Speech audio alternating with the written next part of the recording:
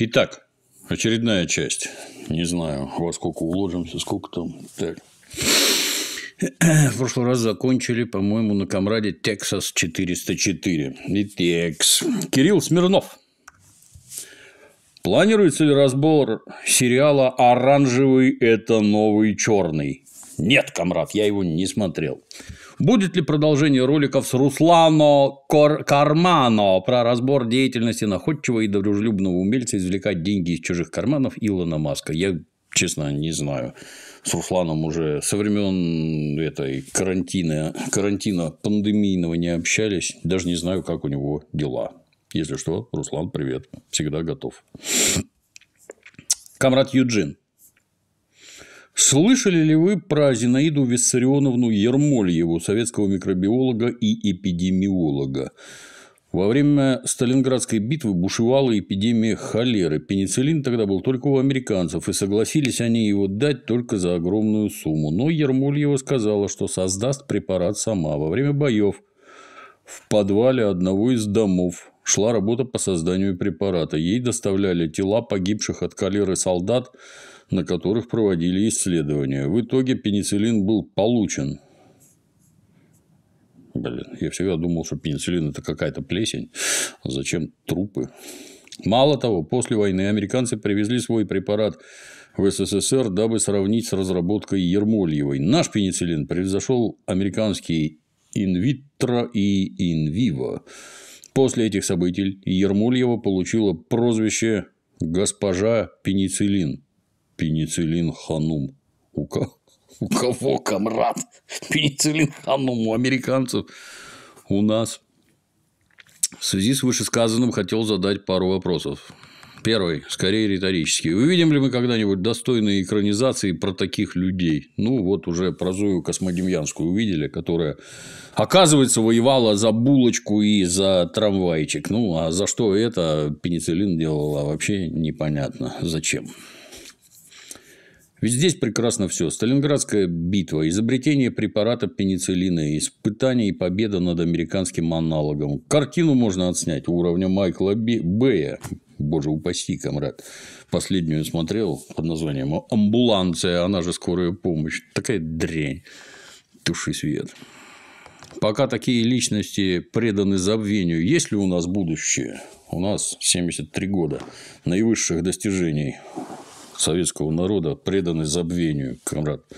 Оплеванные, обгаженные со всех сторон и забыты, что самое главное. Второе. Была ли идея пригласить на разведопрос эпидемиолога? Причем побеседовать не о прививках, ведь это только раздел науки, а о эпидемиологии в принципе, что такое основные принципы закона и т.б. Полагаю, а скорее надеюсь, что большинство ваших подписчиков здравомыслящие люди и более-менее знают, о чем речь, но все же некоторым будет очень полезно. Тем более в СПБ есть замечательная кафедра эпидемиологии в университете Мечникова. Пандемия вроде как прошла, но то ли еще будет. Я уже не успеваю, комрад, вот кого-то звать целенаправленно. Оно все убыточное, понимаешь? А кризисные явления никто не отменял. Они и меня касаются точно так же, как и всех остальных. Я не могу победить. Надо или деньги зарабатывать, или с людьми беседовать. Не получается. Олеся Меннец. Сериалы про политику интересны к разбору вам и личному составу. Молодой папа, новый папа, карточный дом, домик. Там все обманывают, манипулируют, лукавят. Должно быть интересно послушать разбор. В первых двух еще и в гранях искусства можно разбираться. Интересно, конечно, только где время-то взять, непонятно. Тагильчанин. Смотрели ли вы сериал «Сыны анархии»? Если да, хотелось бы увидеть разбор данного сериала. Ну, я несколько серий из первого сезона смотрел. По-моему, очень скромные качества у этого сериала «Сыны анархии». Какие-то там... Не говоря отдельно про перевод, где э, латиносы под названием «Майя», а как бы это помягче сказать, какой-то дебил за кадром их называет майянцы, майянцы они, идиоты, блин, руки оторвать, вообще не подпускать никогда, вон из профессии. Вот. Кроме этого, как-то там очень-очень скромно. Я, я не впечатлился, честно скажу. Алексей, 1922. А вы были в Калининграде? Да. Если были, расскажите о впечатлениях. Ну, хороший город, красивый. Там, где сохранилось красивое. Вот много раз рассказывал, что как-то я, ну, тут понимай правильно, что я по городам ездил в основном на гастроли. То есть это самолет, аэропорт, гостиница, кинотеатр, гостиница, аэропорт. Редко-редко ты там можешь куда-то съездить, чего-то посмотреть. Ну вот в Калининграде возили. Я попросил отвезти меня посмотреть какой-нибудь форт, заштурмованный советскими войсками. Меня отвезли. Э, я там форт разглядывал, и ты тут же там принимающая сторона сказал, а вот здесь у нас улица таможенников. Я сильно смеялся. Это ж насколько надо уже оборзеть от безнаказанности, что даже не бояться там селиться своей гурьбой на, так сказать, а вот смотрите, здесь мы богато живем, дома строим, атас. Сейчас такого, конечно, уже сильно меньше, но все равно было круто. Шамста! Это 21 день назад, если что, вопросы заданы. Три недели. Видел вас сегодня в родном Пятигорске. Какие впечатления оставил город? Успели подняться на Машук? Пятигорск – отличный город. Поднялся я там в какой-то беседке, где Эолова арфа. Туда забрались, там посмотрели, вниз спустились, везде походили, попили кофейку, там площадь, забыл какая, как называется, где там много-много цветов. Перед самым отъездом все уже, э, там тюльпаны распустились, заколосились, красота нечеловеческая. На Машук съездили, да, два раза. Один раз дождик шел, второй раз хорошая погода была. Вот, везде красота. Жили в Есентуках, в одну сторону Кисловодск, в другую сторону Пятигорск. Кисловодск там, как мне показалось, я, наверное, не везде был, но он как-то это по э, э, э, под отдыхающих больше заточен. Так, наверное, правильно сказать. Там бульвар, там гора с этими теренкурами, где там пешком ходить, и еще чего-то. С палками многие ходят. Техника абсолютно неправильная, конечно. Вот. Но мы на электрокаре заехали наверх, покурили, съехали вниз. Прекрасно, великолепный воздух. Везде, короче, где были. Ессентуки, Кисловодск, Пятигорск, Ставрополь, везде понравилось, везде чисто, благообразно, прям вот радует глаз. Дороги отличные, красота у вас там, жратва, отвал башки. На какие-то медовые водопады заехали. Я всегда думал, что самая баранина в Исландии. Там самая вкусная. Горные ручьи, понимаешь, тут мхи какие-то растут. Невероятная баранина в Исландии. Оказалось, в Кабардино-Балкарии баранина еще покруче, чем в Исландии. Я такой жирной баранины в жизни не ел какой нас накормили на этих медовых водопадах. Очень круто, очень вкусно, страшно понравилось. Вся еда замечательная. И в Ессентуках мы там ходили за углом. Там заведение было еле ой, исключительно, просто исключительно. Я аж похудел, когда вернулся, потому что жрешь только мясо с овощами, и лишний жир мгновенно в тебе пропадает. Пузо стало сильно меньше. Хотелось бы съездить на отдых. То есть, это мы ездили, мы там в гостинице жили, не в санатории, а хотелось бы в санатории, чтобы там клизмы целебные, все такое, по полной программе отдохнуть. Ну, в этот раз не получилось, может, поедем еще. Макс Т. Подскажите, какие хрусталики вам поставили? В какой клинике? Если не секрет имя доктора. Мне тоже показания пишут, что нужно ставить искусственные хрусталики. Боюсь, и не у кого в этом вопросе посоветоваться. Ну, блин, комрад, тоже 21 день назад, это три недели. Не знаю, там у тебя что-нибудь решилось, уже не решилось. Ну, искусственные хрусталики, как это... Как, какие? Не знаю, какие. Американские вроде. И надо, надо посмотреть, там к ним эти сертификаты выдают, или, или европейские, или американские, не помню. Вот. Я про этот ролик отдельный уже текст написал, сделаю. Ну, сразу скажу, что это по части боюсь. Я пока с докторами беседовал, там для них это такая обыденность. То есть, что ну, никакого волнения никто не это. Я, у меня глаз всего два, как и у тебя. Я переживал, естественно, как это вообще, если там для такой сложнейшей операции, там, правильная подготовка и прочее. Нет, все пожимают плечами, что это абсолютно рядовой процесс, 15 минут, там, я не знаю, занимает чик-чик и все. Как получится, я угадать не могу. Хрусталики какие? Они для того, чтобы я хорошо видел вдаль. Кто физику в советской школе учил, если хорошо видишь вдаль, то хуже видишь вблизи. Ну как? У пожилых людей, они же это все в таких очках, как дядя Джун ходят. Вот у меня тоже увеличительные очки для того, чтобы читать нужны. Либо можно вставить другие, в которых тебе хорошо видно вблизи, но очки нужны вдаль. Я считаю, что вдаль видеть полезнее, чем вблизи. Поэтому вот сделал вот так. Ролик отдельно сделаю, там все скажу. Я 8 марта, это продолжение комрада Макс Т. 8 марта переехал из Харькова. Удалось это отчасти благодаря вам. Как? Смотрю вас постоянно с 2012 года. То, что оттуда надо уезжать, вы помогли мне понять раньше, чем я до этого додумался бы сам. Ничего там думать, сразу бежать надо, блин, без оглядки. Меня еще, извини, тут это по ходу прочтения, люди, которые из этих осво... городов, которые освободила российская армия, едут на запад, на Украину. Это для меня вообще. На Мариуполь все посмотрели, как там происходило.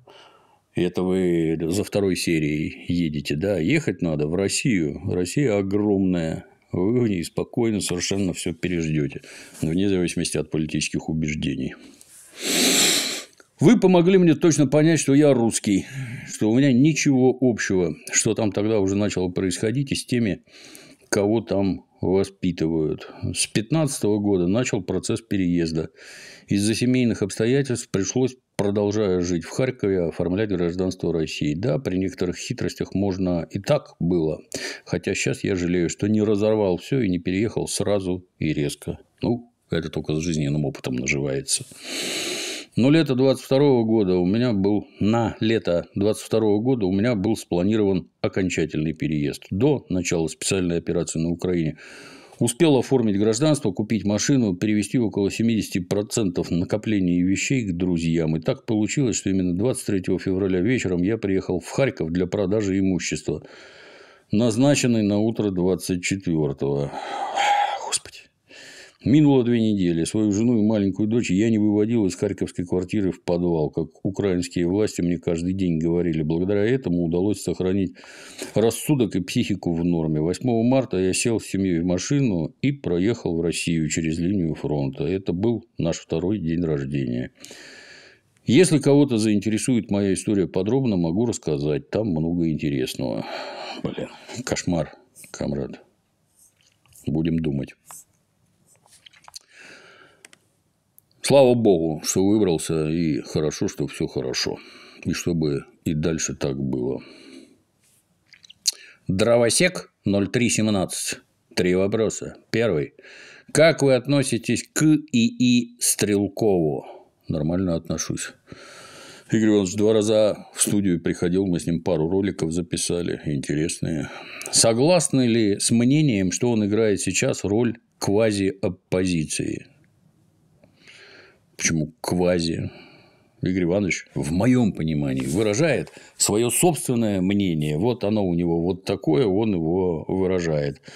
При этом, как мне кажется, он не, не числит себя в какую-то там оппозицию, он себя определяет как гражданина Российской Федерации. Ну, вот такое у него мнение. И не только у него оно такое. Если работаешь с народными массами, следует про такое знать. И что квазиоппозиция меня удивила, комрад. Как-то это. А вот Навальный, он квазиоппозиция или настоящая? Второй. Планируется ли в Тупчке записывать разведопросы по освоению Арктики? Если да, то, надеюсь, без участия Степана Земцова, так как ролик с ним не понравился категорически. Да, Семен Уралов бомбит ролики про Арктику регулярно. Тут с тобой не могу согласиться. Вот ты вот единственный пишешь, что тебе не понравилось, а другим нравится, например, и что делать. Третье. Будет ли разведопрос по перспективам развития IT-сферы? В контексте идей авторов книги «Кристалл роста», да и вообще текущих событий. Эта тема весьма актуальна. Ну, третьего дня заезжал Сергей Вильянов, мы с ним записали ролик как раз про IT, что у нас происходит и как это видится в дальнейшем. Тоже не знаю, комрад, не понравился тебе Степан Земцов, может, ты и Серегу Вильянова ненавидишь, но лично мне было побеседовать интересно. Ролик скоро будет. Энтони Килл С. Хотел спросить, не захаживали ли вы на официальный канал YouTube подкаста «Толкин Сопранос» с участием Майкла Империоли и Стива Ширипы? Захаживал, да, посматривал. Ну, не могу сказать, что меня это как-то возбуждает. Я а, как тебе сказать, я не любитель всяких вот этих, э, как их называют, актерских баек. Мне кино нравится. Вот кино нравится, я его воспринимаю как некий соляпок жизни, и который, по ходу просмотра которого вот мне навевает какие-то мысли, и вот эти мысли мы, собственно, в разборах и обсуждаем, что это нам навевает. Шутим похабные шутки, веселимся, вспоминаем всякое.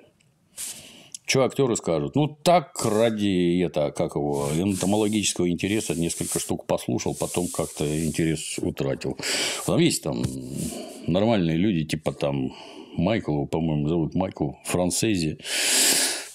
Отличный бандит с глубоким пониманием предмета. Вот когда он там разбирает что-то, у нас, что характерно, с ним все совпадает при разборах, то вам, да, то вам интересно смотреть. Вот так может быть, а так не может быть. Это, это конечно, ну как, миллионный раз повторяю, что это художественное произведение, это не документальный фильм. Но, тем не менее, вот это вот, когда смотришь, вот впечатляет. Вот это вот круто подсмотрено, отлично сделано. А когда вызывает разочарование, ну, ну что это за фигня, так нехорошо получается.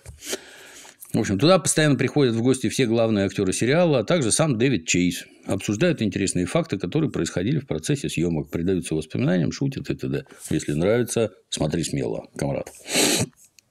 Комрад Ронин. Будет ли разбор войны Алые и Белые Розы с Жуковым? Ну, как-то, если я правильно помню, Клим Саныч говорил, что э, именно война Алой и Белой Розы – это вот именно эти события навеяли гражданину Мартину «Игру престолов». Но как-то, поскольку мы так зарылись уже в сериал, то как-то не очень получается нам туда приплести алую и белую розу. Но может это когда добьем столетнюю войну, тогда, может, за алую и белую розу возьмемся. Андрей. А можете сделать обзор на Jojo Bizarre Adventures? Было бы здорово. Не смотрел, комрад, не могу. Бандито. Как и вы, работают дома.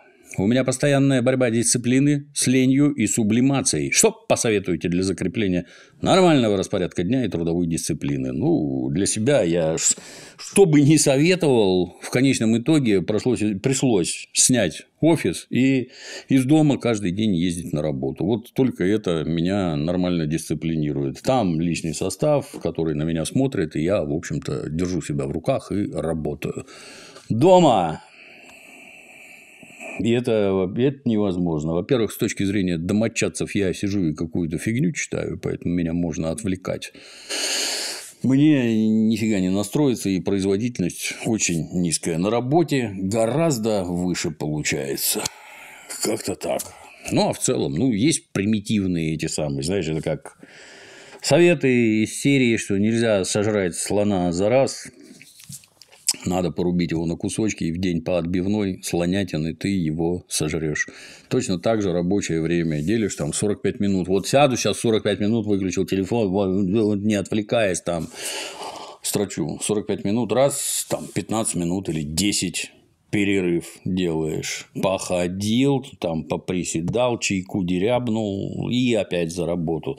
То есть обязательно делать перерывы и обязательно ни на что не отвлекаться, пока работаешь. Потому что там наука говорит, что один телефонный звонок, он тебя на 15 минут выбивает из рабочего ритма, пока ты там обратно вернешься. Поэтому никаких отвлечений, ничем вообще вот это голову отвлекать нельзя. Спортом можно. Встал, походил, ноги поподнимал, руками помахал, это вот гораздо полезнее. Сосредотачиваться надо. Камрад Сычев. А возникнут ли еще в продаже внезапно футболки http ну, мы пробовали, оно не сильно получается. Понимаешь, всем надо заниматься. Любовь – это вам не просто так, ей надо заниматься. То есть, это нужны специальные люди, которые бы эти футболки там придумывали, печатали покупали бы этих, как их, вот это же должна быть хорошая футболка, ну, в смысле, тряпочка сама по себе хорошая, а значит, она денег будет стоить, а какие-то эти принты на ней изготавливать, это еще денег стоит, и дальше она дороже, дороже, в итоге получится, там, я не знаю, тысячу рублей, и никто покупать не будет. Имеет ли это смысл, я как-то теряюсь. Вот, а специальных людей, чтобы этим занимались, нет. Дон Педро!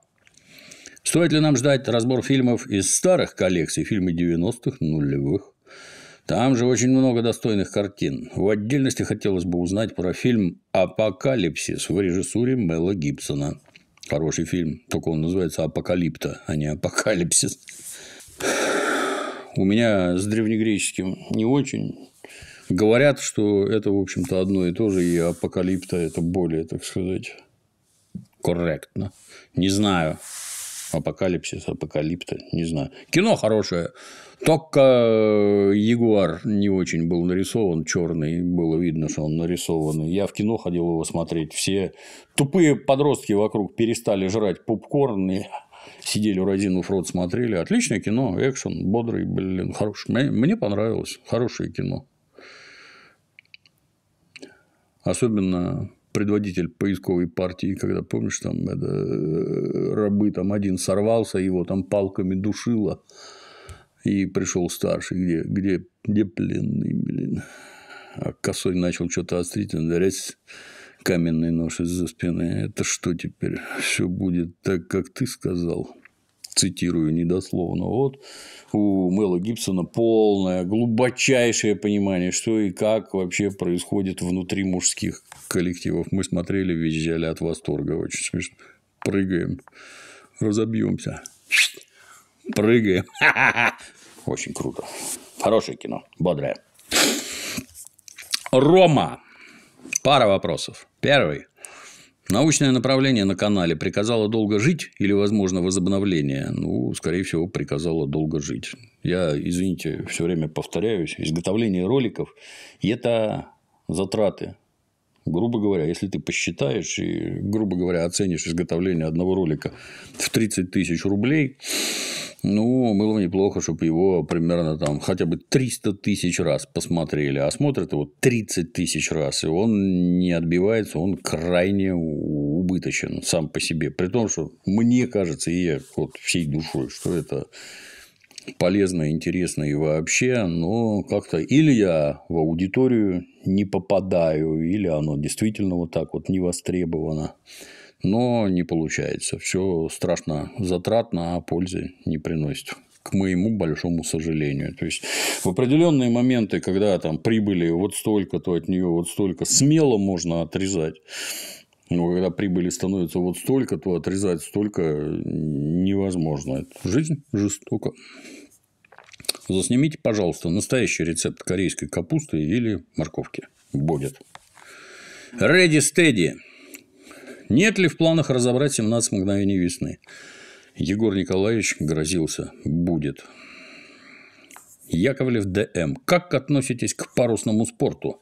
Морской романтике, яхтинге, яхтингу? Строго положительно. Ну, я как-то это... Как-то раз мы с товарищами ездили в Таиланд на Пхукет. И там яхту арендовали. Там комрад, у него права, все это умеет как следует. Вот, мы там перемещались на острова Пхи-Пхи они, Хи-Хи, не знаю, как правильно называются. И я стоял у руля. Я первый учуял качающегося на волнах утопленника, смердело от него далеко. Вот. И, в общем, было весело. Но так, чтобы вот самостоятельно заниматься, нет, никогда не занимался. Я уже старенький, я бы с удовольствием, ты знаешь, там как-то звали но не получилось там в Средиземном море от Испании там куда-то до Греции сходить там по-всякому. Ну, увы, работа отвлекает. Невозможно всем заниматься, комрад. А так круто и выглядит круто. И интересно. The Preacher. Какая у тебя гигиена сна? Используешь дыхательные практики? Гигиена? Не знаю. Постель чистая.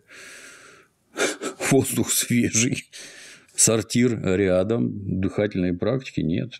Самое, для меня самое главное – это дышать через нос. Если во сне рот откроешь, то высыпаюсь с открытым ртом, высыпаюсь сильно хуже, чем когда дышишь через нос. Ну, там какая-то хитрость с этими, я не знаю, там перегородками, когда я на правом боку нос нормально дышит, а когда на левом боку, то нос закладывает и начинаешь дышать ртом, а крутиться-то надо там сбоку на бок. А если на спине, то храпеть начинаешь. В общем, блин, дыхательные практики в последнее, последнее у меня это гигиена сна. Я себе купил тяжелое одеяло весом в 6 кило. Про него тоже отдельный ролик будет. Не рекламный, ну, можно сказать, рекламный. Ну, денег не платит, просто интересно. Дыхательные практики. Я просто спокойно дышу спокойно. То есть там можно сказать, что это какие-то там элементы аутотренинга, ну когда там у тебя там все тяжелеет, ты расслабляешься со страшной силой, очень сильно помогает засыпать. Да. Но оно, я не знаю, у меня настолько на автоматическом уровне, что как-то практиками обозначить сложно. А Бабурин. Вопрос один. 17 мгновений весны будет. Когда? Не знаю. Я своим детям показал тут кортик. Отвечал на вопросы, много думал. Полезно. В, бытов... в бытовухе как-то забываются базовые ценности. Не планируете сделать разбор советской детской и юношеской классики? Новых голливудских все равно мало толковых, а будет еще меньше. Надо подумать. Кортик хороший. Косимкот. Косимкот. Самый понравившийся и запомнившийся смешной мем на вас с Клим Санычем. На вскидку прямо сейчас можно несколько лет, не помню. Их такое количество, что я вот эти трое лучших, 10 самых смешных вообще не могу сказать. Zero Tolerance. Наткнулся на кино «Зира 2», криминальная комедия прибалтийская но утюгаются по нашему черти. Мне показался очень и очень забавным. От души несколько раз смеялся. Понимаю, вам некогда, но, может, все же зацените. Надеюсь, вам зайдет. Я смотрел. Ну, я даже не помню, первый или второй. Я не помню, как называется. Где там какой-то священник вроде к батарее был прикован.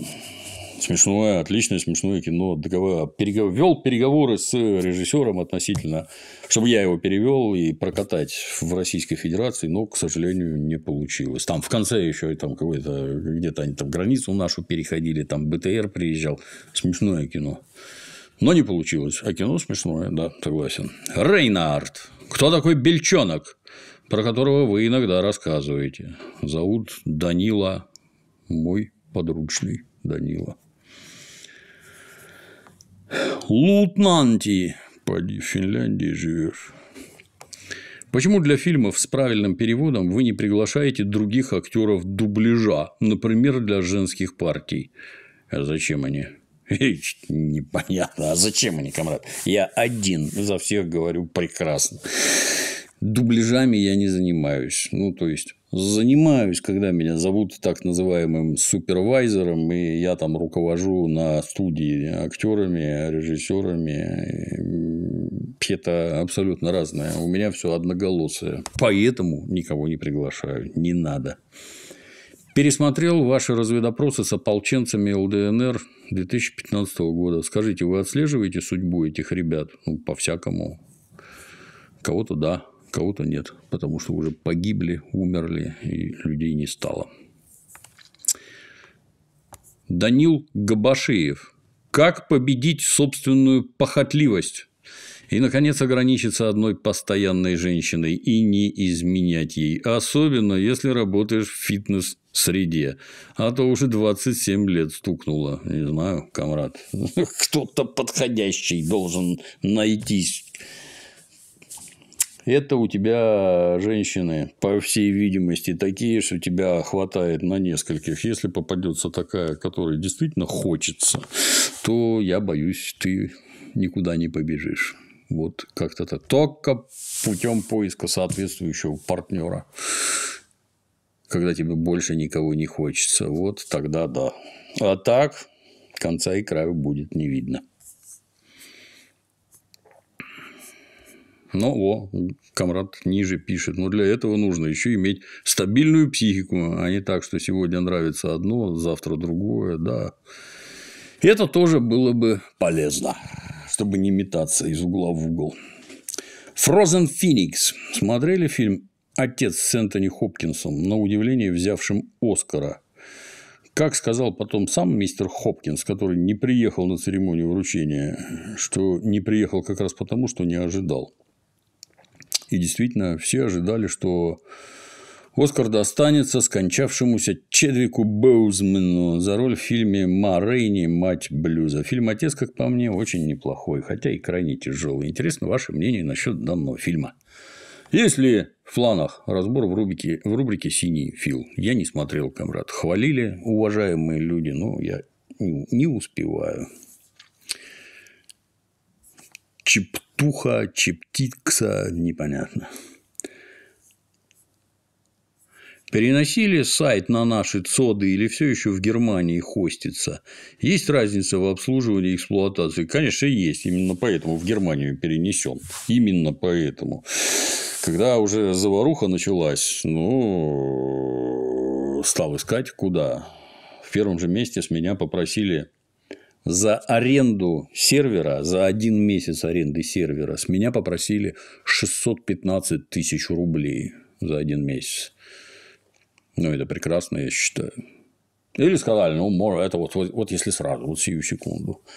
А не хотите, я вот можете там 45 тысяч, по-моему, в месяц, ну, будете в очереди стоять. Ну, то есть, там, я так понимаю, это психоз, уже массовый побег с западных ресурсов на наши. Я пошел на другой, где там за 25 тысяч знающие люди присоветовали, сунулся туда, да, не буду пока название говорить, спрошу вообще, можно, нельзя. Туда все залили, там все настроили благополучно. Я вот поехал в Есентуки. В Есентуках мне приходит письмо, что надо оплатить, значит, очередной там этот месяц. Я пытаюсь оплатить, с моей карточки не оплачивается из, Есен... из Есентуков. Раз, два, три, пять, два дня подряд. Я долбился, никак пишу в техподдержку. А, пишут из техподдержки. А, тут вот, а попробуйте вот так, а попробуйте вот так. Срок закончился, отключили, а они мне сервер отключили за 25 тысяч рублей к коту под хвост. И через день после этого, а попробуйте вот так. Я говорю, не платит. Гробовая тишина. На этом общение с этим ресурсом закончилось. Есть другие, там все, естественно, предусмотрено, но как-то как очень странно. Разница в обслуживании и эксплуатации – небо и земля, так я тебе скажу. Некрокот! Хочу спросить рецепт корейской морковки. Ну, на сайте, возможно, где-то выкладывали. Не видео, а текст есть. Напиши «атомная морковка», оно тебе покажет. СН Туров. Не вопрос, а пожелание. Сделайте ролик о том, как устроена студия в бытовом смысле. Вот тут вход, здесь кухня, стол с зеленой скатертью, вот так камеры стоят, а вон там Дементий спит. Оно же, комрад, уже говорил, волшебство исчезнет. Думаешь, надо? Мне как-то не кажется. Гном НР. Осветите с Клим Санычем музей или места, куда сходить в Питере и окрестностях, а то Выбор большой, а всего не охватить. Это целый путеводитель, комрад, надо делать. Мысль такая была еще там в середине двухтысячных. Успеть, не успеть. Хотелось бы, и даже было бы интересно, например, про улицу Рубинштейна. Было бы весело. Подумаем. Камрад Кислый. Не читали ли вы книги Андрея Курпатова? Читал, конечно, и в телевизоре смотрел книги толковые, несмотря там на все эти интернет-разоблачения, книжки толковые, хорошие. Михаил Хлыстун. Огромная просьба. Если будет желание и возможность, расскажите в разведопросе про одежду в лучшем мире сериале. Помню, у вас было видео про классическую мужскую одежду. Как не проеду в метро, вижу дико одетых молодых людей, малолетних дебилов. Все как под копирку и выглядят нелепо и смешно. Спасибо за ответ. Здоровья вам и вашим близким. Спасибо. Да, тоже когда-то затевали. Там была очень толковая девочка, очень сильно хотела этим делом заниматься. Но потом как-то жизнь сложилась так, что девочка не смогла этим заниматься, была вынуждена заниматься другим, и все пропало. Вот. А полезно было бы, да. Это меня тоже все время как-то с возрастом начинаешь смотреть, когда когда вокруг тебя сплошняком все такие остромодные, остромодные, они такие вот остромодные, а в результате все одеты как солдаты. Все девки одинаково покрашены, все в каких-то этих жутких балахонах, вот в таких ботах, как солдаты натурально. Вот ставь в строй, и вообще, ну, только цветом, может, отличаться будут. А так, единый фасон, единые там эти линии мне категорически не нравится. Но при этом как? Молодежь должна дурковать, выглядеть как идиоты. В этом ее сущность, потому что они идиоты, в общем-то, пока не вырастут. Я таким точно был. Вот. Ну, а дальше, когда ты уже на работу там или еще чего в приличном обществе, ну, там, да, там уже надо думать и смотреть. Но если ты, не знаю, там последние пять лет ходил как дурак одетый, то это, наверное, сложно. Было бы неплохо дать пример. Тут, увы, ролики про это делать, это, как тебе сказать, ролики, если я в них есть, в этих роликах, то их смотрят много. А если меня там нет, а человек толковый, то пока этот человек э, раскрутится, добьется популярности, это очень много времени уходит. А народ их просто не смотрит, потому что меня там нет. А я везде участвовать физически не могу. Роман Ра. Да что ж такое, Роман, ты прям уже не знаю. Вы неоднократно упоминали, что вам всегда интересно про животных, но ни разу не наблюдал у вас в разведопросах специалистов по теме. Не получается или в, разве... в разрезе разведопросов не так интересно? Ну, нельзя охватить все на свете. Вот заходила как-то там Евгения Тимонова, у которой все как у зверей. Вот есть там разведопросы, можешь посмотреть. А так нет, не успеть. Мистер Андерсон, Пользуетесь ли вы маленькой черной книжечкой до сих пор? Актуальна ли для вас эта практика сегодня? Да, этим надо пользоваться в обязательном порядке. Камрад, конечно, часть заменяет телефон, как там всякие календари, оповещения и прочие книжечки не может тебя оповестить. Но, когда у тебя расписаны планы, день, например, это как, это как один, так сказать, из многочисленных аспектов, день надо начинать с того же, открыть свою записную книжечку и от руки написать план, что у тебя сегодня запланировано, а вечером проверить, что у тебя из запланированного сделано, что перенесено там и прочее. Вот. Когда пишешь от руки, это гораздо сильнее отражается на башке, и результаты сильно выше. Поэтому записная книжечка и авторучка необходимы. Сергей Коперник вы говорили, что хотели бы разобрать вечный зов. А как вам тени исчезают в полдень? Ничуть не хуже. Тоже его бы разобрать. Понимаю, на всю жизнь не хватит, но вдруг. Тут, кстати, Дементия можно подтянуть. Вот там все как надо. Хороший. Тени исчезают в полдень. Загремим под панфары. Устин Акимыч. Алексей Швайковский.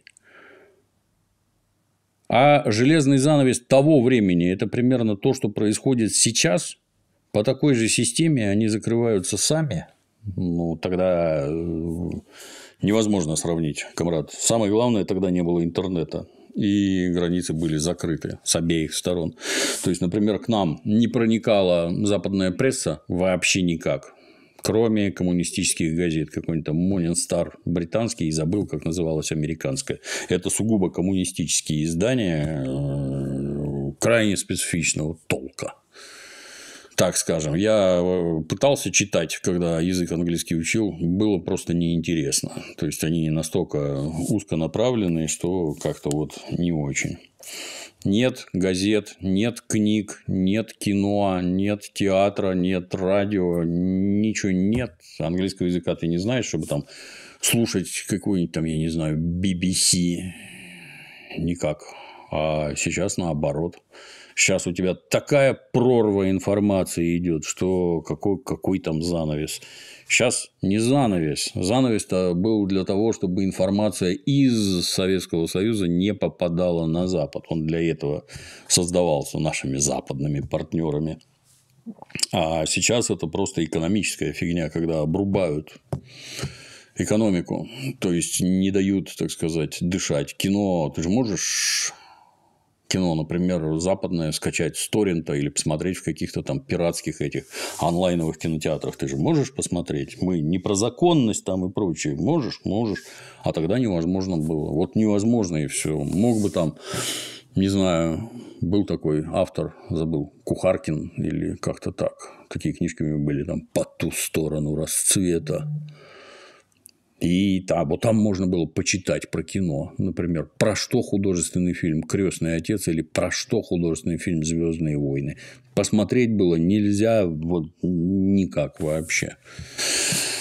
Скорее можно было посмотреть прилет марсиан, чем посмотреть крестного отца. Например, вот. Как-то так. Сейчас нет ничего общего. Сейчас экономику ломают. Закрываю, ну вот в том, что закрываются сами, да, безусловно, сами. Косимкот, комрад, опять. А будет ли разбор святых из трущоб?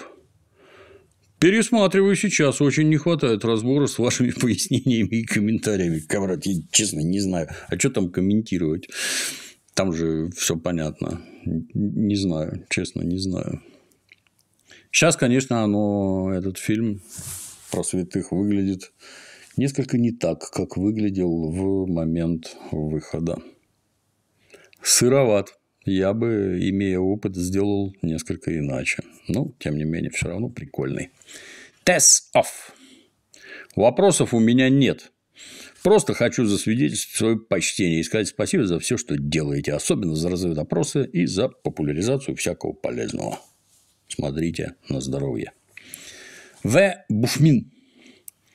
А что является отрицанием научного коммунизма и являются ли современные специалисты информационных технологий классом пролетариата? Понятия не имею, что там отрицается. Я, говорят, я в дебри ни в какие не лезу. У меня все просто и примитивно.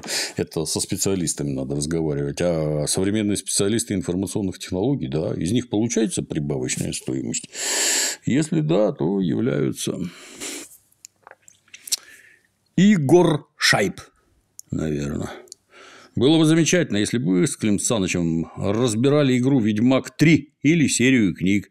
А то Клим Саныч снял короткий ролик, который по ощущениям больше похож на тизер. И теперь хотелось бы продолжения. Мы даже второй сезон говносериала, комрад, разобрать не можем. Только Гаматрон, блин, только с ним сражаемся.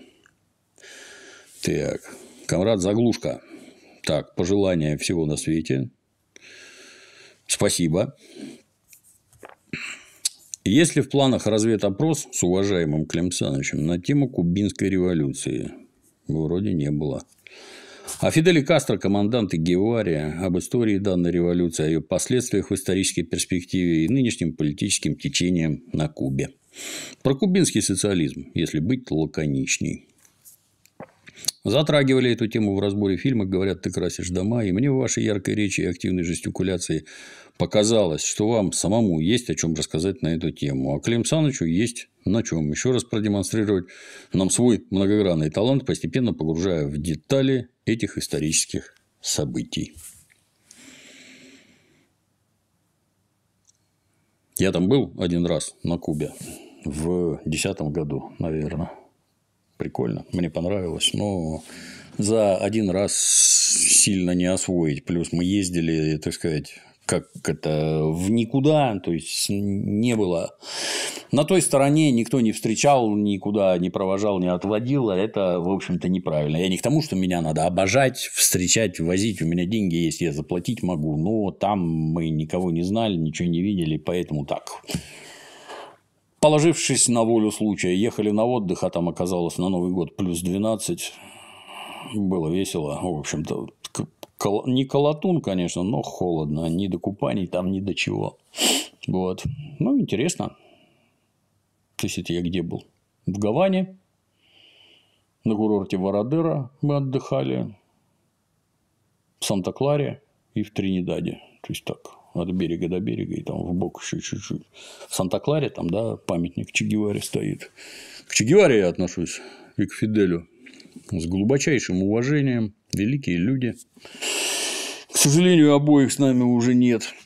Ну да, было бы интересно. Да. Надо спросить Клим. Сам ответить не готов. Я такое не умею. Плюс вопрос из зала. Спрашивает дружище, как и как давно вы познакомились с Дементием?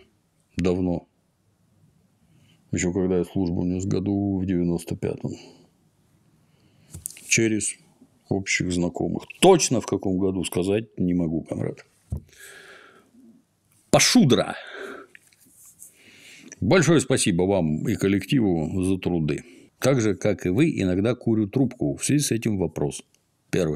Из-за санкций у нас в Самаре стало сложно найти хороший трубочный табак. Пришлось объездить полгорода, чтобы найти что-то путевое. В Питере схожая ситуация или получше? Ну, у нас тут все-таки это со всем уважением к Самаре, но у нас людей живет больше, а значит, денег крутится гораздо больше, а значит, и, ну, например, у вас там, условно говоря, у вас 100 человек курит трубки, а у нас тысяча условно. Поэтому к нам вести будут. Просто станет дороже стоить. То есть, вот мы этого последнее время Вольфа Ларсона купили, курили в таких этих, значит, здоровых металлических коробках. Но они стоили по три с половиной тысячи, по-моему. Сейчас стоит по пять. Джум покупает. Я даже не знаю. Ну, то есть, он в наличии есть. Соответственно, тоже точно так же. То есть, часть этих лавок закроется, безусловно, потому что у всех покупать не было. Жить останутся только самые большие торговые площадки, так сказать. В интернетах я как-то не искал никогда. У меня возле дома, там в подвале э, на Лиговке магазин. Табак я там в основном закупаюсь. Вот. Дефицит будет, естественно. По-прежнему предпочитаете Петерсон или нашли для себя что-то новое? Разные покупаем мы это. У нас курит э, Дементий. Дементий, он курит осознанно. А я... А. Для того, чтобы голос ниже был. Раз. Это самое главное. Б. Мне просто интересно, когда же я это, на меня никотин подействует, и я невыносимо захочу курить. Вот чтобы там, знаешь, проснулся, начать озираться, курить, курить, курить. По-моему, четвертый год пошел, не берет. То есть есть, нет, никакой разницы. Единственное, что это, ну, по мозгам шибает гораздо меньше, чем поначалу. Гораздо меньше. То есть не так вставляет. А так нет, никаких привычек не развилось. Bear, pig. Ничего себе. Моя просьба адресована скорее не вам, а Клим Санычу, поэтому прошу передать при встрече. Запишите, пожалуйста, ролик про Бисмарка из цикла про морские сражения. Предпосылки, отношение к Вашингтонскому трактату, создание ТТХ, поход, гибель, смешные моменты, шутки, прибаутки, все как вы умеете. Ролики про корабли, танки и подлодки архи интересные. Да, у вас на канале есть два ролика про этот корабль от других авторов, но на эту тему никого другого после вас слушать просто невозможно.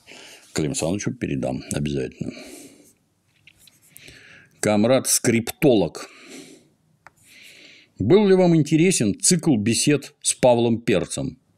Да, конечно. Отличный, отличный. Местами просто вообще отвал башки. То есть, там, где про всякие эти полиция, третье отделение, подполье, революционеры. Это моя работа. Очень интересно. А почему он пропал с канала? Неужели какой-то конфликт? Паша зарабатывает деньги на экскурсиях, вводит экскурсии где рассказывает, ну, не примерно то же самое, а всякое разное. То есть, вот, э, как я понимаю, я не сильно с Пашей знаком, как я понимаю, ему эта работа сильно нравится. Вот эти живые, так сказать, выступления, общение с живыми людьми.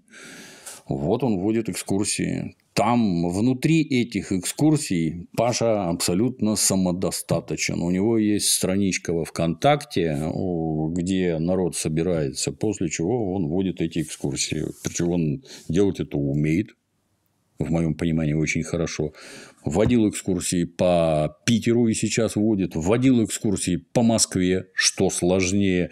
Вводил экскурсии по Парижу. Он еще и по-французски говорить умеет что, ну, с точки зрения организации, это достаточно сложно. То есть, всех надо куда-то поселить, всех надо накормить, провести экскурсии, чтобы люди еще остались довольны. То есть, ну, вот такая у Павла работа, она ему нравится. Если я на каком-то этапе, так сказать, вот он ходил ко мне, мы с ним записывали ролики, как это наша любимая, я потрогал волшебной палочкой, и у Павла увеличилась аудитория, я только рад, вот, что теперь он самодостаточный, и может заниматься этим дальше совершенно спокойно сам, зарабатывая, как мне кажется, и, как я надеюсь, приличные деньги. При том, что он там должен, обязан, ничего не должен, ничего не обязан. Поссорились. Нет, не ссорились. Мы и не дружили. Начнем отсюда. То есть он человек специфический, и я не менее специфический.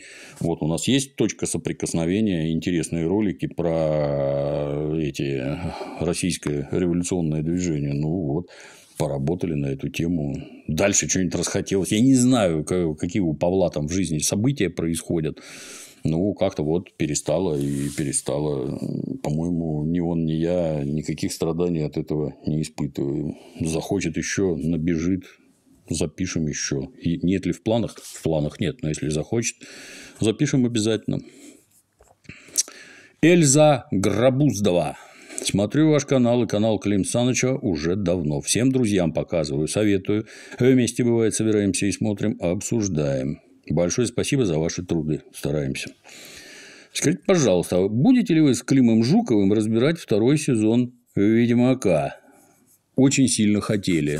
Я его даже принялся смотреть. И, по-моему, две серии посмотрел. Как-то там накал тупизны сильно упал, и уже как-то не очень смешно. Он должен быть совсем дурацкий, а там как-то уже не совсем дурацкий. Хотели, но как-то заглохло. Мне очень понравились ваши разборы первого сезона. Хотелось бы увидеть и второй. Но если нет, то нет. Клим Саныч хотел э, сделать один ролик. То есть не из каждой серии терзаться, а один ролик сделать. Ну, буду его, и буду его терзать. Я довольно часто рисую моих любимых блогеров в разных стилях. Как бы вы отнеслись к тому, что я попробую вас нарисовать? Э, если, если вам это интересно, при чем тут мое отношение, берите, нарисуйте или не рисуйте. Будет ли возможность отослать вам готовую работу в онлайн-варианте, так как рисую я на компьютере? Да, конечно, присылайте. Вот внизу сайта написано. Есть такой сайт oper.ru, называется «Тупичок Гоблина». Там внизу промотаете, есть адрес. Гоблин собака опер.ру. Пишите. Пока что все доходило. Еще раз спасибо за ваши труды от всей души. Хорошей работы всей вашей команде и гостям привет. И вам спасибо. Ну что, собственно, вот все. Закончились вопросы. Всего меньше, чем в час. Сколько там, 45-44 минуты уложились, по-моему, прекрасно. Вот. Что сказать? Ну, надеюсь, все обратили внимание. То есть, это все вопросы, которые вот за это время собрались. За три недели, наверное, за четыре. То есть, последний вопрос был написан день назад. На этом все. Сбор вопросов прекращен очередной. Завязали. Надеюсь, все обратили внимание. Сначала воткнули в синий фил, потом воткнули отдельно на этот на спонсор VIP Opera.ru ролик про конкурсы, шарады и всякое такое. То есть, у нас там поднакопилось некоторое количество финансов, девайсов. для того, чтобы развлекать почтенную публику. Поэтому конкурсы лично я планирую производить примерно раз в неделю, а может быть и чаще, смотря что разыгрывать будем. Долго думал, как это, а, каким образом что-то там угадывать, какие-то викторины, шарады. Подумал, что все это херня полная. Одни знают больше, другие меньше. Кто-то там умеет пользоваться интернетом, кто-то не умеет. Поэтому победителя надо назначать рандомайзером. Так, такое управленческое решение я принял. Вот. Раз в неделю будем бомбить, когда там наибольшая посещаемость и все такое. Приходите, отмечайтесь в комментах, получайте призы. А на сегодня все.